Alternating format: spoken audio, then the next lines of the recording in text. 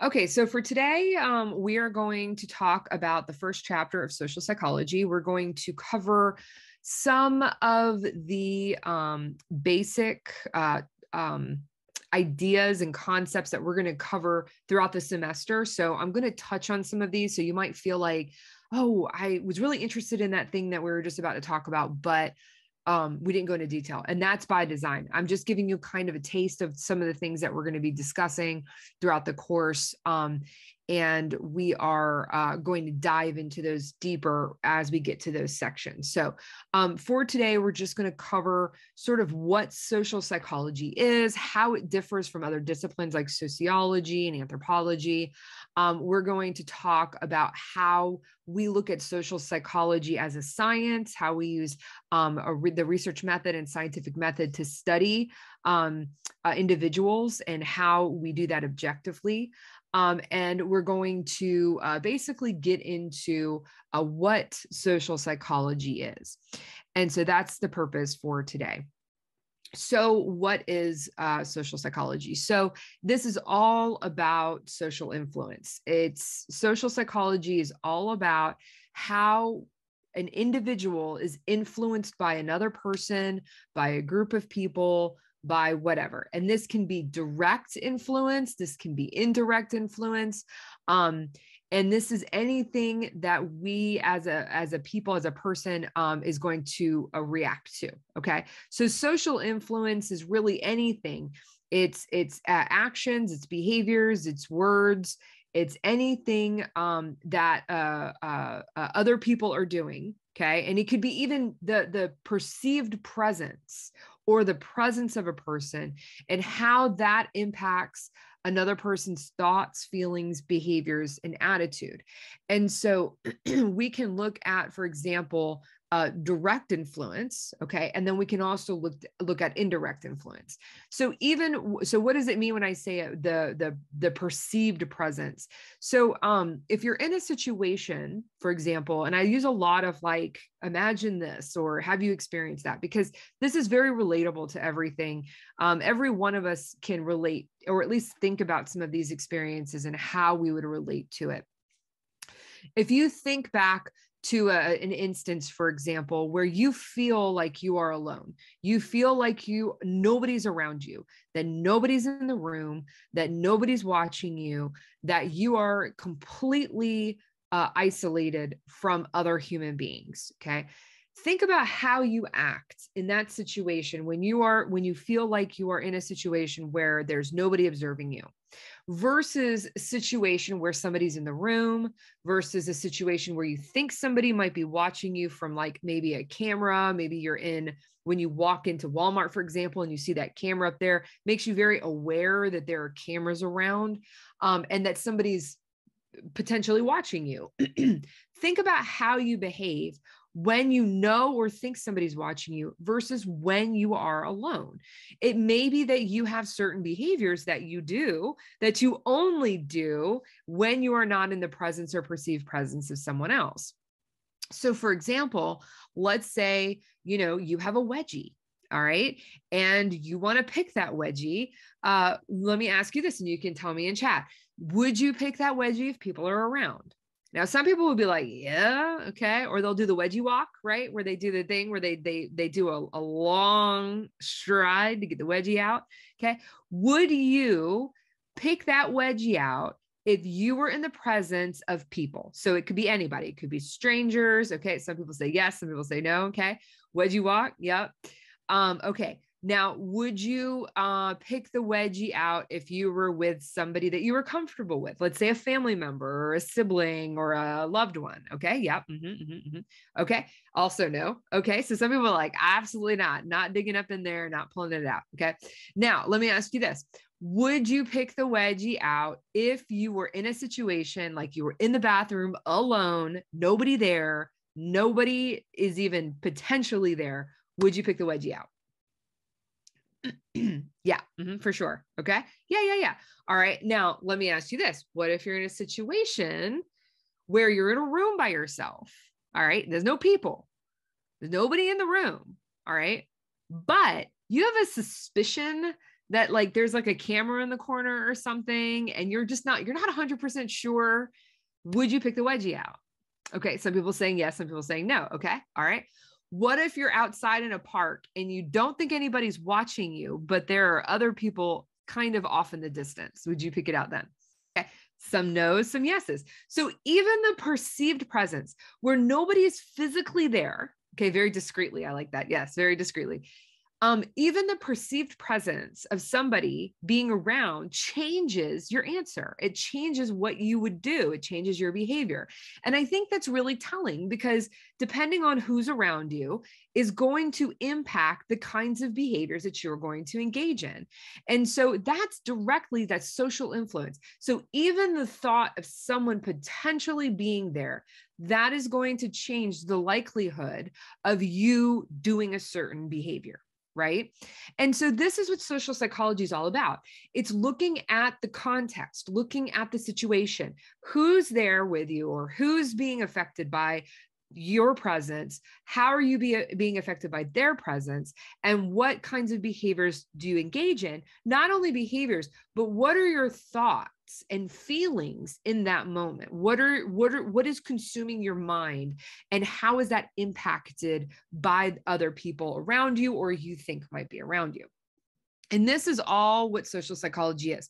So, this is looking at people's thoughts, feelings, behaviors, and how they inf- are influenced by either really the presence of people or the perceived or imagined perce- uh, presence of people.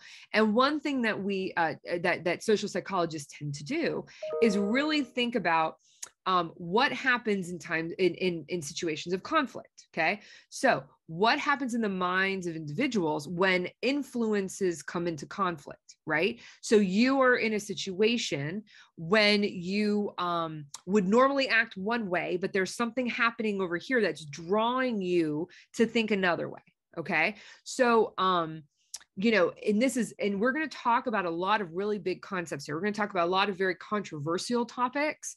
We're going to talk about, um, in some cases, things that, you know, are not what you talk about around the dinner table. So I'm going to come out the gate and I'm going to give you an example of a type of conflict that social psychologists are really interested. So this is an example of this kind of conflict. So if a person says that they are pro life, right? And they say um, that they do not believe that people should get an abortion because they are pro-life and they they believe in life. Okay, but they are also for the death penalty. Okay, if they are pro-life and if their definition of pro-life is being for life, then that's a direct conflict in beliefs. Okay it, it is a direct conflict of beliefs. It's the same idea as a person who is a cardiologist, okay, who operates on hearts and they are a medical doctor, and that person smokes and drinks and does things that are not heart healthy. Okay. These things are in direct conflict with one another. So, social psychologists are especially interested in when these thoughts, behaviors, um, uh, feelings are in conflict with one another and how do you rectify that conflict? One conflict that that that we can think about now conflicting um, thought processes which is really interesting is the my body my choice uh, discussion right? And so if a person says well um, i believe that people uh, that a woman should not get an abortion okay um, and then that same person believes that they shouldn't get a vaccine because they believe my body, my choice. They will not apply that thought process to the abortion uh, um, uh, discussion um, because it's in direct conflict with their belief being pro life. Does that make sense? So, when we are having people who have multiple viewpoints and beliefs and thought processes, and they all conflict with one another and they don't logically follow the same path. Social psychologists really jump on this and want to go, what is happening in that person's mind to be able to um, have these beliefs not affected by one another and sort of happen almost in a vacuum and not be impacted. And so these are some of the kinds of things that we're going to talk about. And these are the some of the kinds of, of concepts and ideas that we're going to discuss and why it is that people um, are able to have conflicting thoughts and beliefs um, and how people justify that process. Okay. So that's what we're going to talk about in this class a lot. And a lot of those conflicting um, beliefs and thoughts are very controversial topics. So I do want to kind of warn you that we're going to be discussing uh, quite a bit of that in this class. So keep an open mind and remember that, um, you know, what we need to talk about is things rooted in empirical evidence and things root, rooted in, um, in, in what we have learned through the research uh, uh, scientific method. Okay, so looking at these um, students and thinking about what these students share with one another and what they share across the board um, with uh, uh, uh, in reference to uh, the fact that they're all in college so they share a college identity they're all together in um, in, in in this institution they they might be a cohort um, so they might be all freshmen, for example. Um, if we look at the different ethnicities, we can see that there are different different ethnicities represented here. So there there may be some overlap with sharing some of these um, sh- sharing some of uh, these uh, backgrounds we might see that uh, some of the family uh, backgrounds might be shared. Maybe we have some people who come from a blended family.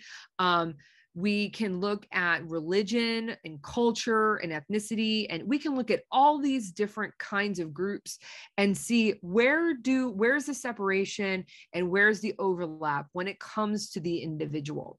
And so i think it's really important for us to consider the fact that we as a as as as a group okay any any group of people has shared characteristics and also um, have differences and those are important to really think about in terms of um, learning about other people around you and learning about what pe- makes people make decisions and do behaviors and have different thoughts. So the next thing that we're going to do is I want you to I, w- I want to kind of expand on this a little bit. I want us to think a little bit further what I want you to do is, and you can kind of do this, you can do this on the side if you feel comfortable with with putting this in chat, totally put this in chat. But if you if you're if you would rather not, okay, that's okay because this can be kind of personal what i want you to do is is is make three lists and i know i say 10 values on each list but let's um let's condense it down. Let's do about three or four values per list. So there's three lists i want you to make. I want you to make a list for yourself I want you to make a list for your parents or caregivers or guardians, whoever's like kind of like the, the parent figure in your in your life. And then I want you to make a list about your friends. So your closest friends in college. And I want you to think about what are your top three or four major values that govern your life. Okay. And so this could be things like there's some examples here love, money, sex, religion. It could be family, loyalty, compassion, security, um, could be uh, anything that you want to pick okay?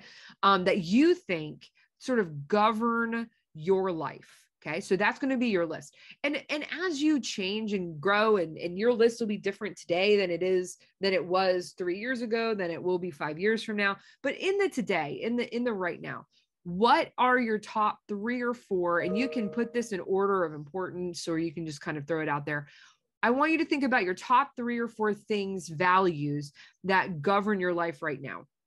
And then I want you to make the list for your parents. And then I want you to make the list for your closest friends. So about three or four per list.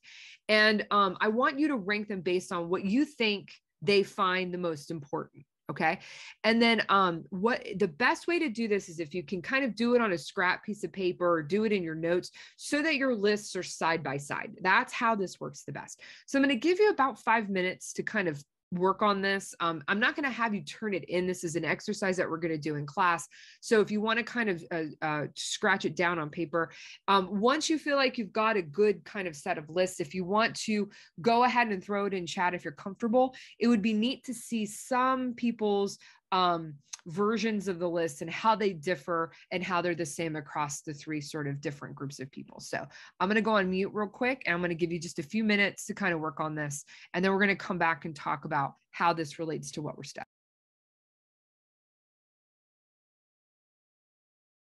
So, compared to your friends, compared to your parents, where do you think your values line in more um, closely? So, is it more of your parents or is it more of your friend?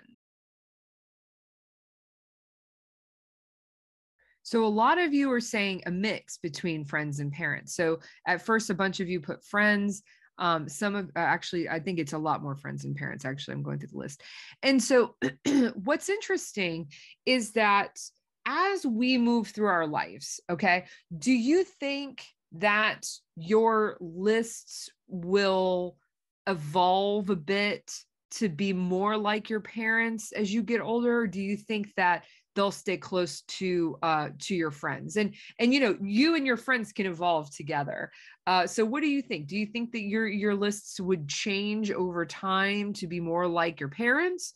Or do you think that they would change more so to to continue being like your friends list? Because it looks like a lot of you are saying that your and your friends are much more similar in terms of value priorities than um than your your family or your parents. Probably a mix. Yeah i think so. You know you're to find that you know there are there are friends who are at different t- kind of points in their development than you. So for example if if your friends are starting a family but you're not quite there yet that's going to change their list priority. And maybe you know you start a family in 5 years or maybe you know you you take a different route. Those things are going to change and, and wax and wane. Um, what i want you to do is take a minute to just look at your personal lists and look at them across the three.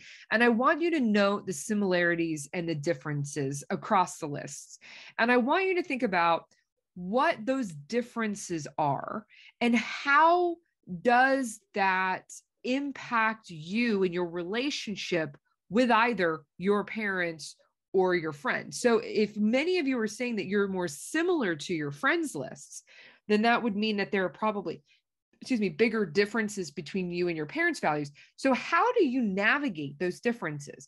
How do you say okay, well your value is um a and my value is B, how do you negotiate those differences between, for example, you and your parents? These are some, in, in some cases, some bigger differences that you have to navigate that are not necessarily going to create a, a, a very, you know, um, pleasant environment sometimes, right? So sometimes your values are different from your parents. Some of you say, okay, I'm trying to be, I try to be flexible.